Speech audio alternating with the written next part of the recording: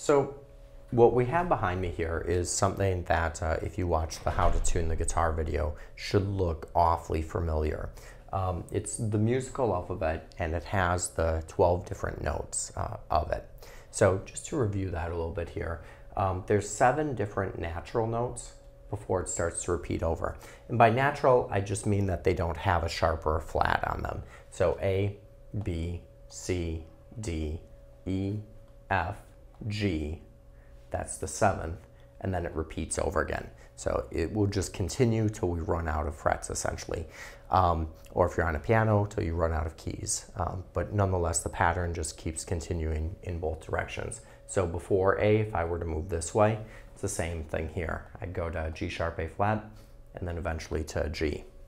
So you want to be familiar with that just to start understanding how scales are constructed a little bit. Now let's take a look at how this looks on the guitar and we're going to do it just by going up the A string.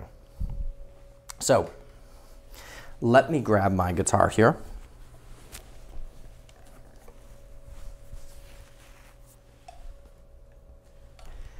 And so if I start on the A string, okay, uh, I play the A open. Essentially that's starting right here. And then what we have here going from A to the A sharp or B flat. Now that particular note has two note names again. Um, the accidentals, the sharps and the flats, will always have two. Sharp just simply means to raise a note one half step, and flat simply means to lower a note one half step. So looking at this here, A, if I raise it a half step, gives me A sharp. B, if I lower it a half step, gives me B flat. So A is open on the guitar here, just the fifth string open. B is at the second fret. So if I take B and lower it one fret, okay, that note right there gives me B flat. Likewise, if I take A and raise it one fret, and then play it here, okay, A sharp, same as B flat. So it's just a matter of perspective. So when I go down the string, just in a line, um, this pattern becomes very apparent. So let's do it once here. A open, A sharp, or B flat, same note, B, okay, and I'm just doing this with my first finger just so you have a pretty clear view here. So B, second fret, if I go up one more fret, B's and C's are always right next to each other. And you see that right there. It's the same thing too if you look at a piano. Um, you'll notice that the B and the C, there's no black key in between them, no accidental in between them. So if I play the B, just go up one more fret, that takes me to the C. C, C sharp, D flat, same note, D, D sharp, E flat, E, F, same thing, E's and F's always right next to one another. After F, F sharp or G flat. Okay, so that's at the ninth fret there. If I go up one more, uh, G, and then G sharp, A flat, and then finally back to A and things would cycle over again as we're repeating through it. So when I look at one string, uh, it's pretty easy to follow that through. Now we could do that on the sixth string as well, so we just have to remember that the sixth string starts at E, so we're starting here. So if I play the sixth string open, okay, then I go up one fret, okay. That's what we call a half step, by the way, when we go up one fret. Okay, so open to one being one fret. So E, F, F sharp, G flat, okay. G, G sharp, A flat, A. Okay, now where it gets a little bit more complex sometimes is seeing where things are when we cross strings. Here's what I mean. Let's start from the A here. So I'm going to play the A. A sharp, B flat, B, C. Now I'm going to cross strings and I want to continue going from the C to the C sharp. So if I stay on the sixth string, it's very obvious. I just go up one more fret. Here's C, here's C sharp. But when I cross strings, I have to know where C sharp is on the fifth string. And in this case, C sharp is actually back at the fourth fret. So if I want to continue the pattern while moving from one string to the next, it's very important that I have some landmarks on the string or know where that C sharp is because it's not just going to be down one more um, string.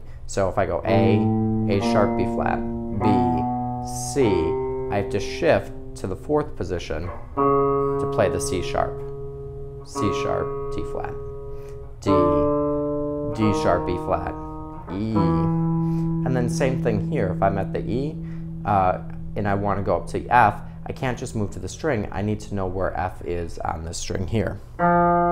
So when we're moving from one string to the next or doing string crossings, it becomes a little bit more tricky to follow the pattern through. But when you're looking down a string, you know, starting from open and just moving from one fret to the next, um, it's really, I think, fairly obvious um, that every time we go down a fret, we just go to the next note. So if we're at C, go down, and I misspoke there, go up a fret, moving this way essentially. So I'm at C, going up where the pitch gets higher.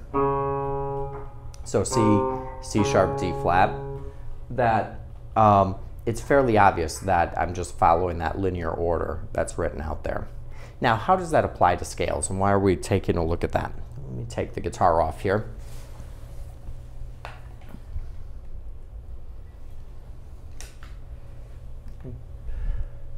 The reason why we're looking at this is because all the scale is is a uh, pattern, basically, a way to order these notes in a way that musically makes sense to us. And what we're starting to talk here a little bit is um, about music theory. Um, I always like this term. You know, when you think about what theory is, uh, theory isn't fact, right? Theory is just uh, an idea that, that can't necessarily be proven. So when we talk about this, it really is, is true for, for music. Uh, in the world, there's sound. And over time, um, musicians have ordered that sound in ways that sound um, good, I guess, to us. And in some cases, maybe not good to us. Um, so music theory just tries to look at how, um, how artists and musicians and people have ordered music and the notes that, that we're hearing. So music theory, we're just trying to explain how uh, historically we've kind of ordered things. And one of those ways that we've ordered things is in scales. Now again, we're talking about the building blocks of music. So we will see when you start learning other artist music and start writing your own stuff, you'll see that you know you'll use the pentatonic scale a lot, you'll use the blues scale a lot, and musically you've probably heard of this at some point, the major scale. Okay, I guess Foley would call it the major diatonic scale. Um, what that is is a specific pattern of whole and half steps. Now you're probably already familiar with this if you've ever sang uh, do re mi fa sol la ti do that's a major scale. Okay, and if you've listened to the sound of music, you know, obviously very, very much based on uh, the major scale of that song, at least here. So when we're writing this out, uh, we use a curved line like this to show a half step. Okay, and a half step's just moving from one note uh, to the very, very next note that comes right after it. So from B to C is a half step. To show a whole step, we'll use a V, okay? So it's kind of skipping over that note that's in between here. C to D is a whole step. Now, let's look at a C major scale. So in a C major scale, um, there's no uh, sharps or flats, which is, which is very convenient. And um, it's because of the pattern that we're using. So I'm gonna write out a C scale here. So I'm gonna start with C. We'll go to D, E, F, G, A, B, C. So I kind of wrote it out you know, with some interesting spacing in between here, and we'll get into why that is. Uh, so I guess first, let's start at C, the root of the scale, the note that the scale is named after. So C, if I move from C to D, we'll notice that that's a whole step, right? Because we're skipping over the C sharp, D flat. So we're going up two frets, basically. Uh, if C is at, let's say on the fifth string, C's at the third fret. So to get to D, I have to skip over the fourth fret and play the fifth fret. So C's at the third fret, D's at the fifth fret. I'm skipping over the fourth fret. That's a whole step. Okay, so same thing from D to E. And again, I'm just gonna kind of continue thinking about it on one string for right now. So D was at the fifth fret. When I go to E on that same string, fifth string, I would have to go up a whole step to get to the E? So that takes me from the fifth fret, skip over the sixth fret, I'm at the seventh fret now. But E to F, of course, because E's and F's are always right next to each other, that's only a half step. Okay, so E to F, half step. So E's at the seventh fret, F is at the eighth fret. I'm going to continue this pattern, F to G, and of course there, I'm skipping over a fret. So F's at the um, eighth fret here, and I'm going to skip over the ninth fret. That brings me to the 10th fret. G is at the 10th fret of the fifth string, whole step above, uh, whole step above F when I go from G to A, same thing. Uh, G's at the 10th fret, A's at the 12th fret. I had to skip over you know, the G sharp, the A flat, so I'm skipping over a fret, whole step away from one another, G to A. A to B, same thing. Uh, I'll go down here, A, going to B, I'm skipping over the A sharp, B flat, whole step away from one another. And the last one here, B to C, they're always right next to one another. Of course, B's and C's always a half step away. So that ends up being a half step. Now, what's interesting is that when we talk about a major scale,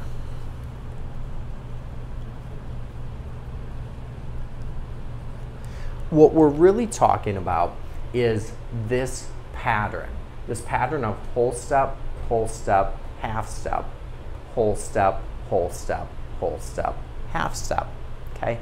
So when we start on C, this happens to be the order of notes that we get. And that's why a lot of times we might start by learning a C major scale because conveniently there ends up being no sharps or no flats on it.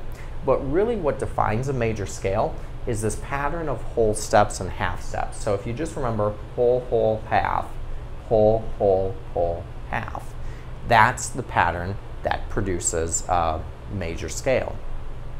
Now on the guitar, uh, because of the way the neck of the guitar is laid out, when you learn a finger pattern, a finger pattern for a major scale, you've essentially learned, uh, in, in this case, a pattern that goes whole, whole, half, whole, whole, whole, half through a series of string crosses. So if you take that and you shift that down, just starting with a different note, but play the same finger pattern, you're going to get, uh, again, the result of a major scale, but it may not be a C major scale. At this point, it might be uh, an A major scale or whatever note you happen to start on or make the root of, of that scale. So let's try something here. Let's erase, let's erase that top part, that C major scale.